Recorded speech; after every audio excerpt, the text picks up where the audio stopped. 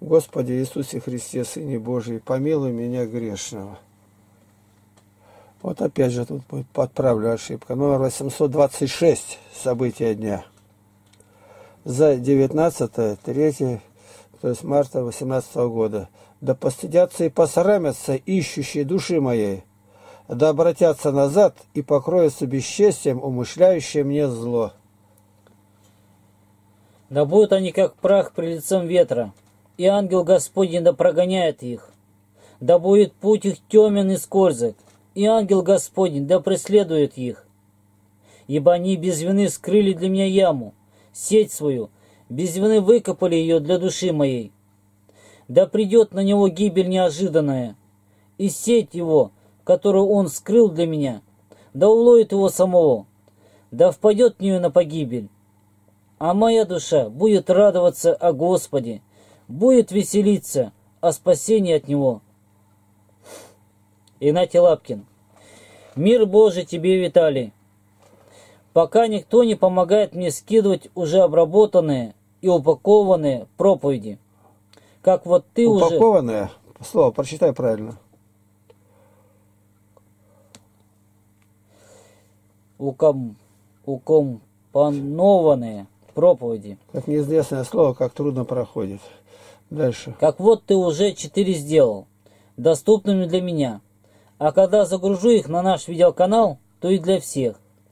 Посещаемость таких проповедей несравненно выше, чем когда они в целой книге даны были. Теперь дело стало за тем, чтобы кто-то помог. Взял по одной книге и выставил также мне их. То есть в каждой книге определенное число проповедей в Ворде.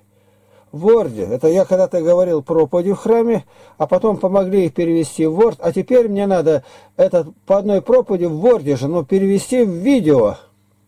Это сделать скорее нужно, потому что летом я не имею возможности такой, загружать там в Потеряевке. Мне видится так, если ты поскорее весь седьмой том также пропустишь, уже будет небольшой запас. Это книги у меня открытым оком, вот в одном томе. Всего проповедей найдено пока 1302. Две. 302, да. Загрузи мне оставшиеся 58 проповедей. Седьмого тома в таком же формате. Мне доступно. Сначала, ну никак, вот никак. А я не могу туда ткни, сюда показывать. Ну не могут просто делать-то. И ума не хватает или желания. Ну я говорю, не могу принять. Все, сделал. Потом никто не говорил в течение одного часа, и каждый раз вот, не могу, это никак, это программы нету. И сейчас пишет, это невыполнимо, уже выполнимо, уже ставится. Так нельзя, вот преграда, все, и бросили, сказали, спросили бы, ну что сделать, я поищу где, никак. Вот сколько отвечает, ни один положительно не ответил. Я сказал, мы с Виталием переписываемся. Виталию говорю вот так, вы возьмите из этого, ой, вы ошиблись, я Дмитрий, а не Виталий. Даже как-то страх нападает. Да как же так-то? Это мужики. Я старался более-менее понятным сделать, ну, в какой-то степени доступное для любого. Практически никто. А я не разбираюсь. За разбираться ничего не надо, уже разобрались. Он готовый скидывать, теперь надо только эти проповеди выставить, по той программе. И мне переслать. Не один. Поищу еще работников. Твой скайповский адрес Калинников Виталий.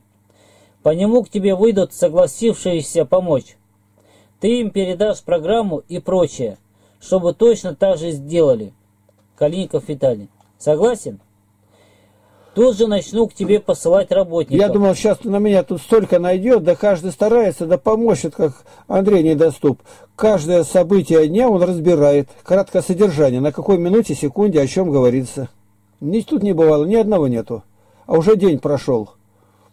Каждому буду давать по одному тому книг. Ты им подробно все расскажи. Но ко мне ролики должны быть по порядковому номеру данного тома. Первый, второй, третий и так далее. Калинков Виталий. Готовы помочь в деле Божьем? Бесплатно. Награда потом у Бога. Это я всем вчера послал, знакомым, близким-то. И да это не ко мне, вы ошиблись, Виталий. Может, вам надо было речь к нему выделить в кавычках, тогда, может, быть, было понятно, что это к нему, а это уже к, друг, тем людям, которым вы посылаете. Впереди говорится, впереди лето, мне не сделать, нужно сделать. Поищи работника, прежде идет, зачем я тебя посылаю-то? Это детский разум у людей, -то. Что это? Опупелая совсем. Ну, написано, работников ищу. Я для того пересылаю, чтобы в них... Зачем я даю им адрес? А о чем речь-то идет? По этому адресу выходи на Виталия, он все объяснит. Вышли они на него? Нет. А вот надо было так написать. Надо было поймать, связать и в рот затолкать. Как говорят, продают лекарства от блох. Как? Ну, поймать и в рот ей лекарство положить, это она вот сдохнет. А как поймать-то? Ну, нельзя, да блошиным умом думать-то. Стра страшно даже делается. Люди молятся, знакомые, ваши ролики смотрим. Что смотреть-то? Нужно по порядку. Теперь дело стало за тем, чтобы кто-то помог. Что непонятно. Взял по одной книге и выставил там мне их те проповеди. Это сделать скорее нужно, потому что летом по Теряевке буду. А мне это видится так, двоеточие.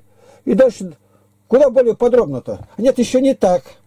Вот сколько, которые говорят не так, а как это надо. Я теперь буду разъяснять с повторами. А ну напишите, что было так, не напишут. Почему?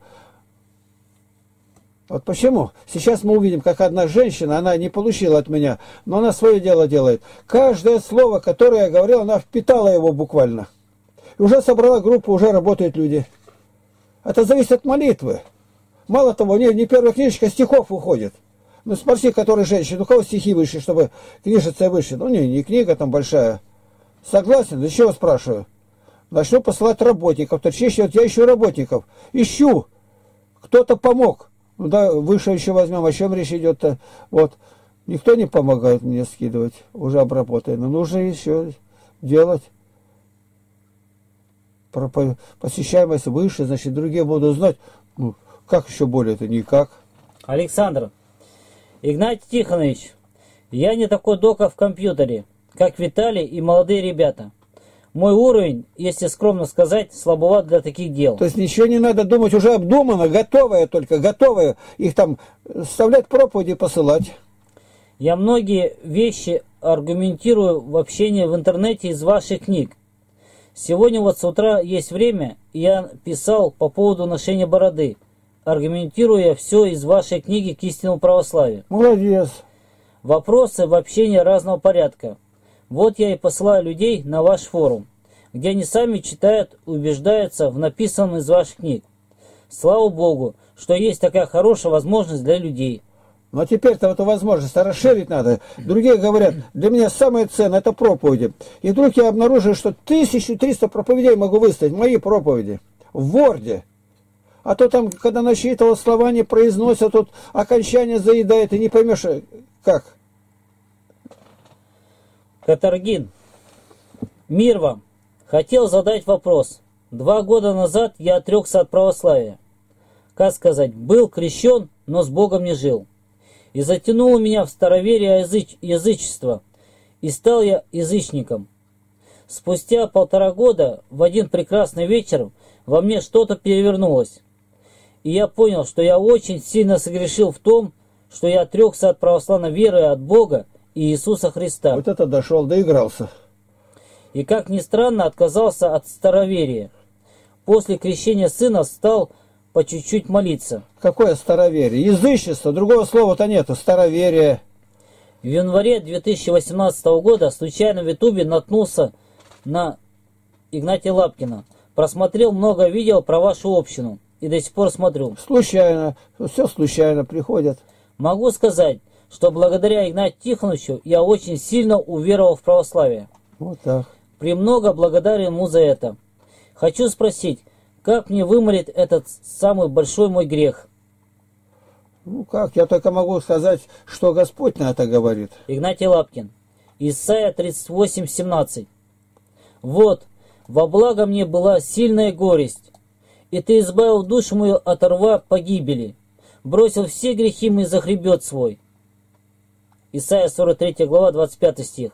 Я, я сам изглаживаю преступления твои, ради себя самого, и грехов твоих не помяну. Михея 7:18. Кто Бог, как ты, прощающий беззаконие и не вменяющий преступления остатку наследия твоего?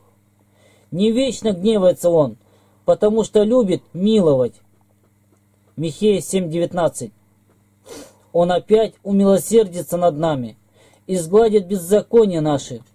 Ты вернешь пучину морскую все грехи наши. 1 Петра 2, 2, 24. Пучину мирскую, теперь прислушайся, где мне, как вымолить? Вот а что Бог говорит? Он грехи наши сам вознес телом своим на древо, дабы мы, избавившись от грехов, жили для правды. Ранами его вы исцелились. Повторяю, что я ни одного слова не сказал, ни пояснения, ничего нету. Сегодня, которые священники много выступают, у них тысячи там этих последователей-то, ну ни, ни один не отвечает, повторяю, ни один, ни один. Говорит, как будто никогда Библию в руках не держал. Исайя 53 глава с 4 по 6 стих. Но Он взял на себя наши немощи и понес наши болезни. А мы думали, что Он был поражаем, наказуем и уничижен Богом. То есть они по-своему лидера осуждают. Вот кто-то богат, ты грешник, тебя Бог положил, парализовал. Да это любовь Божия. Но Он изъязвлен был за грехи наши и мучим за беззаконие наши. Наказание мира нашего было на нем, и ранами его мы исцелились. Все мы блуждали, как овцы, совратились каждый на свою дорогу, и Господь возложил на него грехи всех нас. Все, вот я ему ответ даю этому Александру. И главное, никаких ни фамилий, ничего не пишет. Александр, Александр, у меня куча Александров этих. Екатерина Г. Вот теперь смотри, женщина пишет. Мир всем! Христос посреди нас! Здравствуйте, дорогой и близкий моему сердцу Игнат Тихонович! Благодарю вас за ваши молитвы и благословения, а также Володе Пащенко за посылку книг. Свое фото с книгами отправили. Очень много хотелось рассказать, но после того, как мне сделали замечание, что много говорю, то как бы положили печать на мои уста. Вот это понятно. Сказали ей, она сразу начала над собой трудиться. По этой причине не выхожу ни на скайп, ни на частое общение с вами. Просто молюсь за вас. И что-то Иерея Акима. Протоиерея Акима. И ваших сестер и братьев из двух общин. Поделюсь своей радостью после того, как вы меня благословили собирать общину, то мы сразу же в первое воскресенье и собрались у меня на дому для изучения Евангелия. А это совпало как раз с вашим днем рождения вашей общины. Я думаю, не случайно так вышло. Вот интересно как. Сразу же собрал -то, мужчина пишет там, то с Австралии, то где-то, и никого не может собрать. И женщина, и мужчина. Вот, пожалуйста, в наше время, это вот она на суде Божьем, а Екатерина, она как раз обвинит всех Златоуст, говорит, если хоть один человек обратился. Он шарится, ходит по больницам, везде. Вчера пришел ко мне врач, община нашей, а жена тоже врач. И вот она жалуется, приходит домой, вся, говорит, разбитая. Ей определенное число надо принять, кто приходит в поликлинике. Заходит бабка, не может раздеться. Я, говорит, постою теперь, мне все записать надо еще там. Разделаю ее, а там-то сидит очередь бабок-то, они, ну что у нас тут столько там возится? Теперь начинаем говорить, а, Ась, что?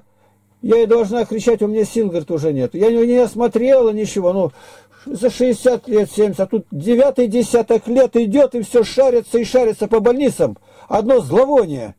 Не, кто их благословлять будет, этих бабок? Зачем ты пришла? Что я могу сделать? Бог положил 70 лет. И при большей крепости, если, да, 180, во- 70, 80, уже все. Ну все, крепость даже и та ушла. Нет, из больниц не вылазит. И передача идут, говорит, это передача для тех, кто любит лечиться. И для тех, кому действительно это необходимо. То есть совершенно разные это кому необходимо. Ты сразу решай, это от старости, все кончено. Старость врач не может убрать. Ты ее в гроб загоняешь. И ничего нельзя сделать. Говорю, глаза вытаращит, все. У каждого объяснение при том. Одна пенсию хлопочет себе, другая еще что-то. Ну, куча порошков, таблеток. Пока нас четверо, и трое из нас уже крещены полным погружением. О, результат-то какой. Это так непросто было. Да благословит ее Господь. Раздаю Красное Евангелие. Сожалею, что не всегда получается благовествовать. В храм хожу в платке под булавку. Священники принимают спокойно. Вначале против, сейчас спокойно. А многие прихожане, кто меня хорошо знает, говорят, кто что, как хорошо тебе платок. Вот так, платок хорошо. Ты как сектантка, Вот ты хорошая, ты как сектантка стала. какая хорошенькая, и хочется тебя обнять и обнимает.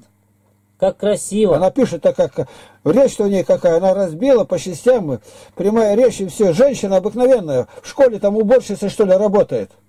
А почему ты так повязана? Объясни. О, Ты сильно изменилась. Тебя прямо не узнать. то есть вот кто только говорит, и она так выстроила. Письмо-то какое интересное это. Ну, в общем, отношение ко мне не изменилось. Также приветствуют, обнимают, радуются вместе со мной. Но некоторые меня принимают за матушку, то есть думают, что я монашка или послушница. Просто пока я хожу в черной юбке и кофте, мне так тепло и удобно. А летом хожу в цветном одеянии. К общению со священниками пока не готова. Сестрам нравится изучение Евангелия и помогает жизни. Вот так. А также мы имеем общую молитву, трапезу и согласны с вашим уставом. У меня много искушений, а перед поездкой в город Москву я сильно зашибла ногу. И только спустя 10 дней пошла в больницу. Вот как. Оказался на мизинце закрытый перелом. Но это такая мелочь по сравнению с тем, что я увидела в больнице. Слава Богу за все. Господь милостив ко мне грешной. Всех помню, люблю во Христе, стараюсь хранить благ. Понятно как. Вот у меня э, в лагере, ну, иногда, когда костер бывает в пятницу, ну, поют песни, поют, там то другое.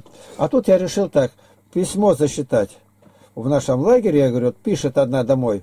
Баба, а мы доехали. Хорошо здесь. Солнце тут хорошее. Кормят хорошо. И ухаживают за нами хорошо.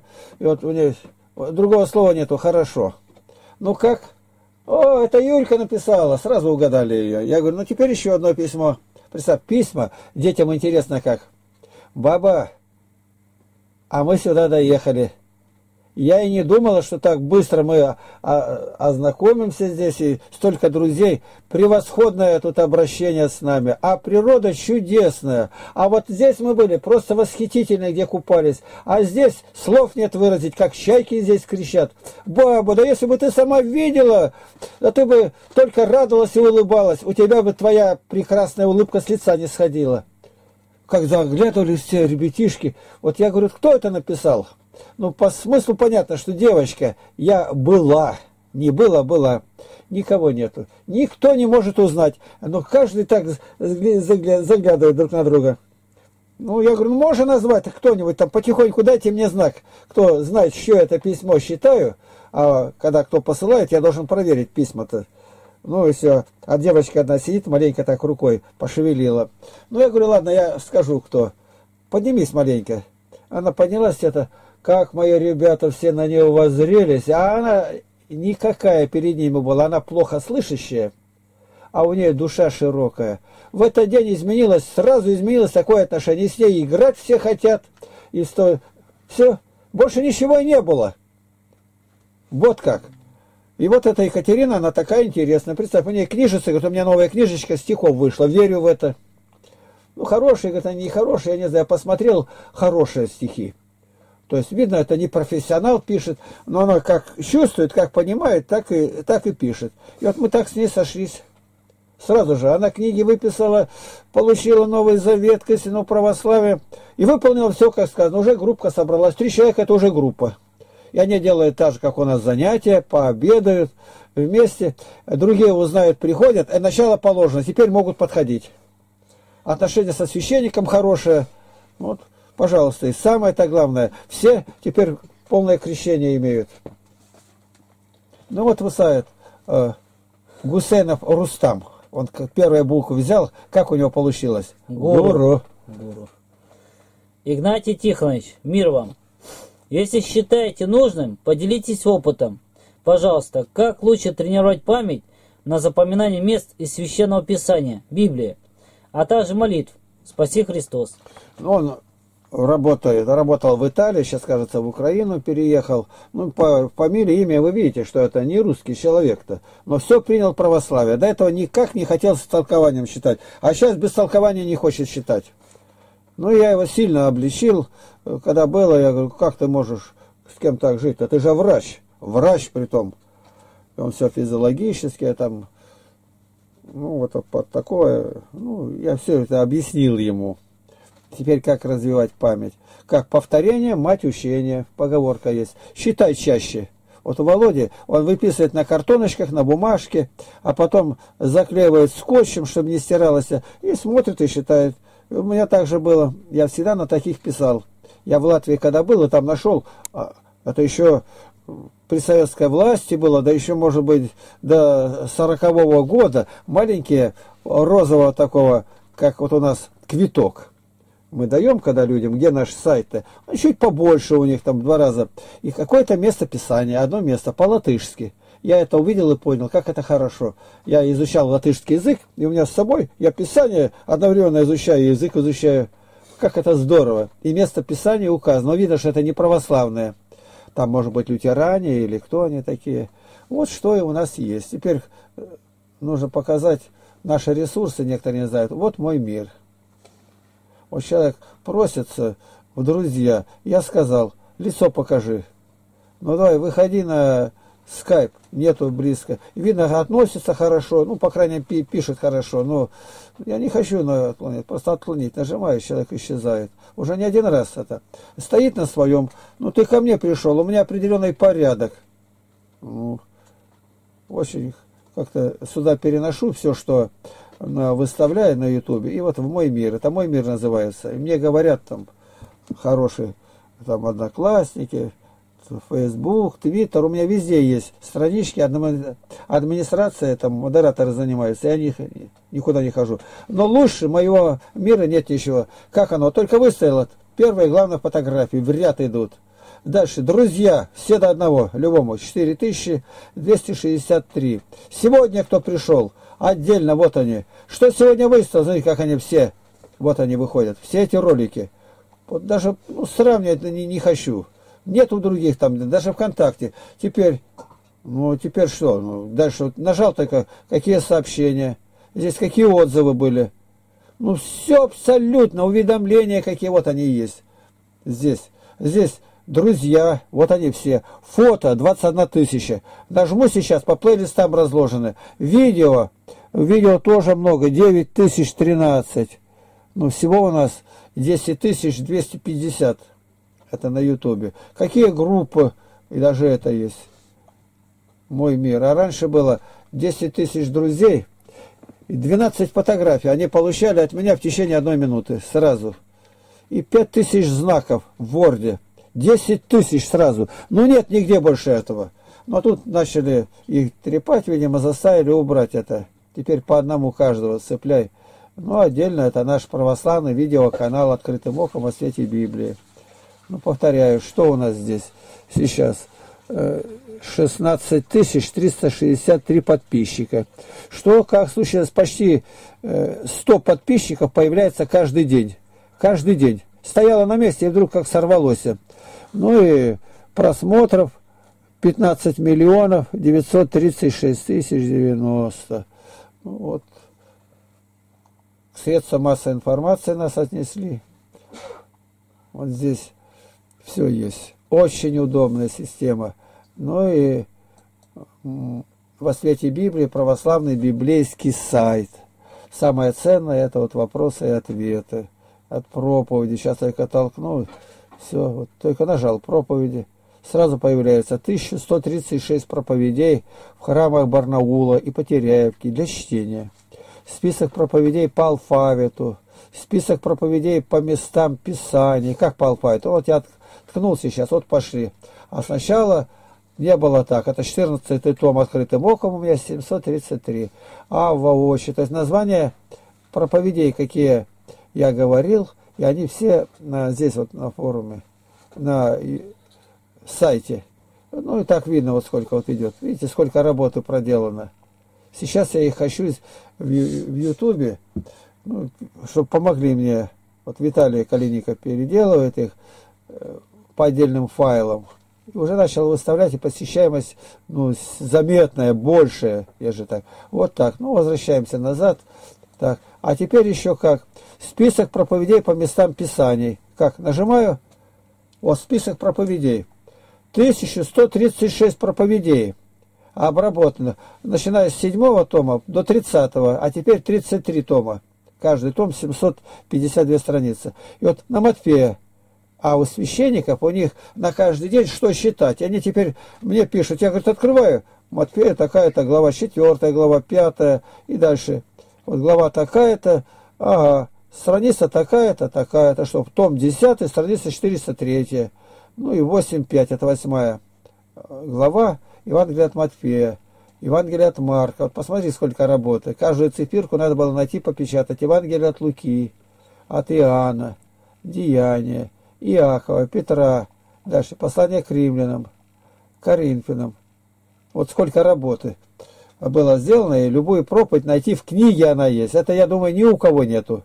По крайней мере, в интернете не встречал. Не, это, это большая-большая работа. Проповедь сказать, тем более не по бумажке, а потом это все надо перевести, перепечатать в Word. А теперь определить центральный стих и вот так вот таблицу общую как Писание проповеди по Ветхому Завету, и на различные праздники, события. Вот посмотри, сколько восстановления, наследия о потеряевке, как благословлять. Вот я показываю. То есть какая работа. И те, которые вокруг крутятся, это моя колокольня я называю. Там они на нее мощатся, плюют. У них-то ничего нет. Я показываю только о проповедях. А тут 136 еще 123 занятия по, тема, по тематике. Аудиобиблия, стихов 3137 помещено здесь. Так это что? Это что она? Это не случайно. Это знаешь что? Выключили. Она, видно, вышла. Ну да, нет. А что же это такое здесь? Вот это. Но я и разговаривать не буду, я погашу и сейчас здесь открою мой мир, вот к истине. Это к истине один. А какая к истине у меня? Вот это вот, наверное. А, нет, это не то, это форум. А вот к истине один, к, к истине один. Вот она. И здесь отдельно книги в открытом виде. Для Слова Божия нету. Вот я нажал на нее. Все предисловие, содержание. Вот содержание в одной книге, это заголовки. И это все документы, почти из одних документов. Для слова Божия нету. Вот посчитай, сколько работы. Это одна книга. А дальше тут идет текст. Вот нажал, вот, допустим, какой-то в православной Руси, к примеру, 567 страница. Давай-ка я нажму на нее, еще будет. Ага, ну-ка прочитаем. В православной Руси. Кавычки открыты. Это зарубежный журнал. Прошедшим летом Свято-Троицкий монастырь посетил Игнат Тихонович Лапкин, редкий по своей одаренности и самобытности проповедник, являющий собой как бы живую иллюстрацию жизнеописания отечественных подвижников. Слава Иисусу Христу! Аллилуйя. 20 века. Понятно. Вот такой отзыв получить, это, это вообще невозможно. Так это редакция пишет. Я случайно журнал этот получил и гляжу, там вот такое написано. К сожалению, Игнат Тихонович долгое время находился вне общения с носителями духа истинного православия, архиереями и священниками Российской Церкви что до какой-то степени отразилось на его мировоззрении. То есть не так мыслю, как они, которые за рубежом. Предлагаем вам беседу Игнатия Тихоновича с насельниками Свято-Троицкого монастыря. То есть перед монахами я выступал. Которую мы приводим с некоторыми сокращениями, по возможности сохраняя живую речь этого замечательного человека. Вот теперь смотрите, которое есть. Вот. Символ возрождения России. Что? Да, это Надежда Васильевна. Вот так. Коротко. Прочитай маленечко. До 24 лет Надежда Васильевна вела обычную для молодой девушки жизнь. Ходила, в, считают -то? ходила в театры, принимала участие в молодежных вечерах. Ходила в театры? Любила петь, танцевала. Танцевала? Выступала а на сцене. Девятый десяток лет к врачам маешься, ходишь. Ну и так дальше. Смотри, какая статья большая-то. Теперь знаете, сколько вот это новая тема, это 750 страниц. Владыка сожалеет, но вот Антоний был такой, здесь умер. Ну-ка. Что пишет он? По благословению его Преосвященства, Преосвященного Антония, И преосвященца, преосвященнейшего. Епископа Барнаульского и Алтайского, пресс-служба Барнаульской епархии уполномочена прокомментировать репортаж с пресс-конференции владыки Антония, помещенный в газете «Вечерний Барнаул» от 6 марта 1997 года. Кавычки открыты. Не имея никаких претензий к журналисту Андрею Лушникову, его преосвященство сожалеет о, возможно, допущенных им самим некорректных выражений в адрес Игнатия Лапкина, которые, впрочем, ни в коей мере не были направлены на подрыв авторитета Игнатия Тихоновича. То есть в статье была статья, что на меня, как говорится, наехал епископ. А он теперь говорит, может быть, я, ну, выражение некорректное. Ну и проще там было-то. В то же время его Преосвященство просил отметить, что Игнатий Лапкин действительно не принадлежит к Русской Православной Церкви Московского Патриархата, Да. А также и об особой позиции и внутри зарубежной православной церкви, которая на сегодняшний день юридически относится возглав- возглавляемая им община верующих. Владыка еще раз, как и на пресс-конференции, подчеркнул, что он с уважением относится к Игнатию Лапкину, прошедшему подвижнический страдальческий путь. Но невозможно оценить его многочисленные критические выпады в адрес иерархов Русской Православной Церкви Московского Патриархата. К сожалению, иначе как деструктивные, а ибо они направлены на подрыв авторитета Церкви, независимо от того, ос- осознает ли это сам Игнатий Лапкин. Впрочем, в последнее время надо признать, статьи и выступления Игнатия Лапкина стали более взвешенными и корректными. Ну понятно же, я сказал, что не, хотят трудиться, то другое, это подрывает авторитет. Но какой он авторитет-то ниже планки, говорит, ниже говорит, плинтуса опущен. Сегодня-то посчитайте, где это написано? Вечерний Барнаул, номер 42, 19 марта 1997 года. Какие статьи в этой книге? Теперь еще прочитай. Другая статья по, по порядку. В книге до слова Божия нет уз. Игнатий Лапкин, победитель коммунизма. Вот представь себе, статья такая на развороте. Лапкин появился в барнаульских редакциях 10 лет назад, как только вышел из тюрьмы. Он выглядел, как и сейчас, в кирзачах, пальто и старой, некогда кроличьей шапке. И хотел, в общем-то, того же, чего хотят и сейчас, чтобы все жители, чтобы все жили по совести. Десять лет назад эта идея была антикоммунистической, Антикоммунистической. антикоммунистической и подрывала устои тоталитарного общества. Поэтому Лапкин был в моде. Лапкину в жизни досталось. Хотя был у него шанс избегнуть Божьей стези и жить как все. Был бы сейчас одним из сельских пенсионеров, мастеровитых, домовитых, ожидающих денег от власти и писем от внуков. Но внуков нет, а от власти Лапкин ничего не ждал и не ждет. Он у власти требует. Советскую власть Игнатий Лапкин не любил с детства, потому как родители и бабушка много плохо, плохого не рассказывали. Семья переехала в Сибирь в 20-е годы, разжилась. Жнейки, лобогрейки, скот. Но, но тут и грянула коллективизация. Семье досталось от советской власти. В день смерти Сталина Игнатий спросил бабушку, чего она плачет. Ведь он же зверь, моих детей съел, Э, отвечала бабушка, бабушка. почему? Три сына моих родных дяди, матери на моей родные братья, Макарий, Филарет и Мануил, ушли, и, как говорят, артиллеристы были, и все погибли. Погибли, а тут раскулачивали, среди зимы выбросили их на улицу, на снег. И дед яму раскопал чуть не голыми руками, это баню, и в бане жили, это родина-мать. Лапкин рос бойцом. Он готовился мстить, учился стрелять, ходил в секцию бокса. Отлично плавал. По его словам, кавычки открыты, если бы Господь не нашел меня, я бы давно сложил голову. Кипящий разум требовал пути, дела. И очень вовремя Лапкин посмотрел в сельском клубе на Дальнем Востоке, где служил в армии, фильм «Отверженные».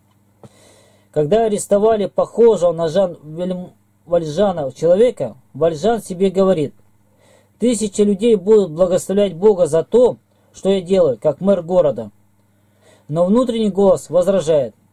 Но за тебя невинный сидит в тюрьме, и Бог не услышит благодарственной молитвы тысяч, а услышит воздыхание одного, и проклятие пойдет на тебя. Разве не было другой цели, как спасти не жизнь свою, но душу? Не жизнь свою, но душу. Вот эта фраза меня пробила. Я семь раз смотрел фильм и семь раз прочел роман, и не видел ничего, кроме этих слов. Из фанатика мести он стал фанатиком веры, потому как он просто не умеет делать что-то в полсилы. Я всегда был максималистом, всегда хотел быть лучшим. Самостоятельно изучал языки, и когда учился в мореходном училище, добился, чтобы мне разрешили сдавать три курса в один год, причем на любом из трех языков – немецком, французском, английском. Я всеми владел. Лапкин семимильными шагами шел по пути познания мира и человека. В армии я исследовал все политические системы тогдашнего мира и нашел, что самое лучшее, справедливое, что придумал человек, это фашизм. Фашизм – самая лучшая система на Земле. Выше Гитлера на Земле человека нет. Но при одном условии. Если нет Бога, если в человеке нет божественной души, если нет в человеке души, если ничего не вдохнул в человека Господь, то Гитлер был прав. Надо убивать идиотов, надо убивать слабых. Все по теории Дарвина. Селекция, улучшение породы. Но Бог есть. И значит Гитлер не гений, а сатана в человеческом обличии. Понятно как? Вот реально смотрел на это, я не боюсь об этом говорить. Это мое было мнение такое. Господь Бог был в душе Лапкина всегда, но долго дремал. В кавычках. По собственным словам Игнатия Тихоновича, он и немного пил, и дрался. Бог искушал и его тело, как говорил сам Игнатий Тихонович, в одном из дней своей юности. Приходила учительница, но Бог меня спас. Вера стала для Лапкина способом борьбы, методом сопротивления, где крестное знамение как повстанческий символ – те времена достаточно было не отрицать существование Бога, чтобы власти заинтересовались тобой. Лапкин делал больше. Он говорил, что Бог есть. Он свидетельствовал, рассказывал о Боге. Еще не встречая Библии, не встречая Евангелия. Еще в армии он за веру загремел в психушку. Это уже само по себе было диагнозом. А так как Лапкин не отрекся от веры, то и справку ему дали «неизлечим» – вялотекущая шизофрения. Потом все это снимут, как злоупотребление психиатрии. Врачи сказали, только смерть снимет с вас это пятно. Но раньше погиб строй, как клеймейший стративых рабов. Диагноз сняли во времена перестройки. Я любил море ужасно как. Мы жили в море. Мне это все было очень дорого. Но однажды вечером уверовал, вернулся на корабль, стал молиться, и утром вся флотилия знала, Лапкин сошел с ума. Вот так по-житейски это произошло. Однажды вечером уверовал. А в советской России верить в Бога не советовалось, и проповедь веры каралась неукоснительно. Лапкина уволили с флота, и власть приняла, принялась гонять его по социальной лестнице. Достаточно высокообразованный для своей страны и своего времени – в 60-х годах с десятилетним образованием, со строительным техником за плечами. Лапкин еще в армии был прорабом и, в частности, инспектировал строительство ракетных точек Дальнего Востока. Такая должность была удивительная. По всему Дальнему Востоку приходилось техник-смотритель воинских зданий. Игнатий оказался не нужен стране и выше плотника не поднимался.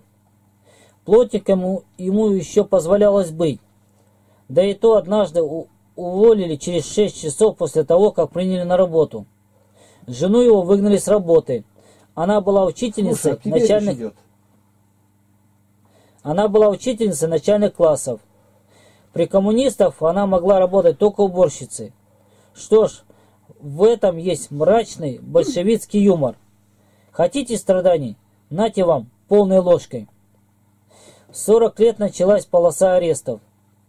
К тому времени стало ясно, что Игнатия не обуздать не проконтролировать. Который нападает -то на меня-то, и то другое-то. У них же ничего этого нет и быть не может, строй другой-то. Они, ну, ничего не могут, ни одного дня жизни их не было. И поэтому я смотрю на них с сожалением.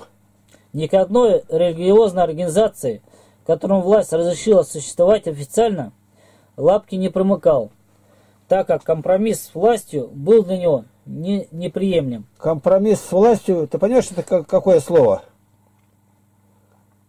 Соблюдать лапкинскую чистоту тем труднее, что здесь обязательно не только замечать зло, творимое властью, но и реагировать, сопротивляться. Кавычки церкви дано право только страдать и умирать. Вот так в своем одиночестве стал уже выходить за флажки. Организовал на дому целый цех по размножению религиозных текстов. Большевики, ленинцы организовывали типографии. Лапкин напирал на звукозапись. Слово Божие на слух сильнее.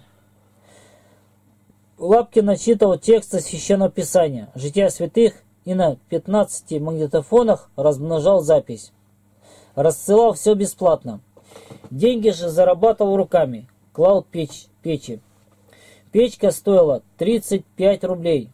В день лапки мог сложить от пола до трубы две печи. Деньги получались немалые. Частных домах Барнаула и по сей день, наверное, много печек, сложенных Игнатием. Деньги шли на Слово Божие. Эта власть может и стерпела бы, но Лапкин принялся размножать еще и архипелаг ГУЛАГ. Было у Лапкина маленькое развлечение. Все равно, что интернационал, петь под одеялом. Он шел к церкви, давал бабулькам по рублю и говорил, молитесь за возвращение раба Божьего Александра. И бабушки молили Бога о возвращении в Россию Александра Солженицына. В конце концов, железные нервы большевиков не выдержали. Лапкина забрали. В первый раз его взяли в 80-м продержали три месяца психушки и выпустили. Основательно же с судом и лагерем Лапкин загремел в 1986 году. Сидел в казахском лагере Жанатас. Шил фуфайки 15 минут на обучение, а потом надо давать норму 23 фуфайки. В день? Как там говорил Макаренко, Трудом наказывать нельзя. И она говорит, как то? Как там говорил Макаренко, трудом наказывать нельзя? Да. Зато можно загонять. Особенно, когда за невыполненную норму снижают пайку. К истинно и истово верующим при, со, при советах отношение было опасливо уважительное. Одновременно, они заразны ли? И да ты погонь... А при... ты поглянь. Поглянь, да. При этом весу Лапкину добавляло и то, что посадил его КГБ.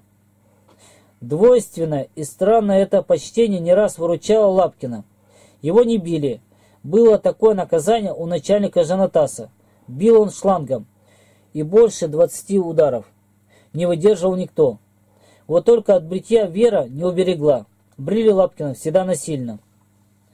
Когда Лапкин стал доходить, сочувствующий врач положил его в больницу а потом в столовую принесли свежую газету, в которой было объявлено о помиловании по статьям 70 и 190 прим. за антисоветскую агитацию. Как говорит Лапкин, я прочитал и кричу, мне второй не надо, я иду на свободу. Это сидит 700 человек, я встал, и они, а едят, едят все знали там, заключенные. Я кричу, второе дают там, не надо мне, я иду на свободу. Ух, как все зашумели, да как так там про нас ничего не написано. Его выпустили в считанные минуты, еле живого помирать, а он не помер. А он не помер. Он гремел сапогами на этажах газет, насмехался над иереями и припоминал корреспондентам их репортажи. Он подавал в суд на власть и требовал возместить ущерб, конфискованные магнитофоны и пленки. Он распространял Библию, переписывался с Западом. Он поехал на то место, где некогда было его родное село Потеряевка, и устроил там детский лагерь. Сначала из шалашей, потом командующий Сибирским военным округом дал палатки. Теперь там снова деревенька. Генерал-полковник Пинков Борис. Все хорошо? Кто знает. Игнатий Лапкин вряд ли сам ожидал той скорости, с которой рухнул колос советской власти. Он готовился к долгой борьбе. Он готовился передать эстафету. Он берег силы, и вдруг дистанция кончилась. С тем же пылом Игнатий нынче чистит ряды своей общины. Требует соблюдения всех правил от людей, которым бы чего попроще. Так видно, Лапкин был не против советов даже, а против той маленькой обывательской вселенной, которую каждый устроил в своей душе. На какой грамотный репортаж. И вот в этой схватке Игнатию не победить. Сергей Кочевников. Тепляков. Сергей Александрович. Что там, телефон? Понятно. Это я беру только, ну, ну, одну, другую там статью. Вот оно все, перечисляется. Для слова Божия нет уз. Эта книга есть в местном музее, в литературе везде показывал. Теперь смотри, опять возвращаюсь, пожалуйста. Вот вопросы и как они разбиты, как удобно сделано. Вот канонизация, смотрите, вот канонизация, какой пункт? Это 55, 55 папок, 4124 ответа. Я еще прочитал 25 так, монашество. Вот сейчас натолкнул такой вот, ткнул, сразу открылись. Теперь все вопросы. Какой вопрос, в каком томе, вот, ну и дальше вот что, какое духовное состояние в монастырях России? Вопрос мне задают, это я в университетах за кафедрой. Теперь я в него ткнул, а вот и ответ. И обязательно вот жирным курсивом это из Священного Писания.